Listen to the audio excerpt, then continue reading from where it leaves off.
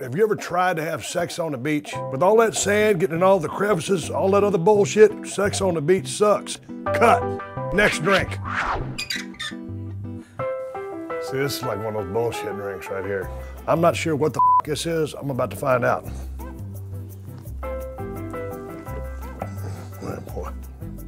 It vodka and Kahlua? I have no idea. It tastes, it's like sugary dog shit. A birthday teeny, that's appropriate. Happy birthday to whoever the hell made this drink. But it's not my birthday, so I will not finish it. Please bring me my next beverage. Is this, uh, would, would this be a cosmopolitan? It's not a bad drink. I'm quite enjoying it, and I'm gonna finish it off. I'm gonna give it a thumbs up. I love alcohol. Let me give it a taste.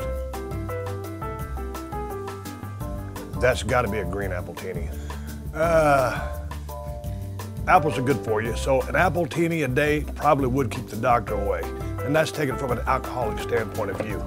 I'm done with this drink. I would like another, please. Thank you.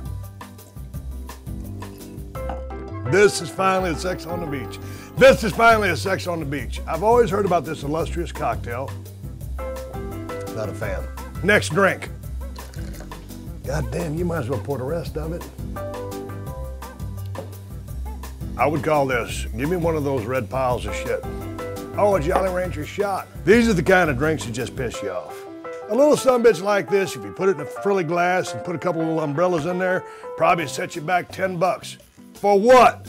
A case of sugar diabetes and no buzz? F that drink. Now, if y'all ain't got nothing else for me to drink, I'm a haul ass. No, I'm serious. I'm about to haul ass if y'all have no better shit than this to drink. Oh, he does. Please, bartender. Now that's a tasty beverage.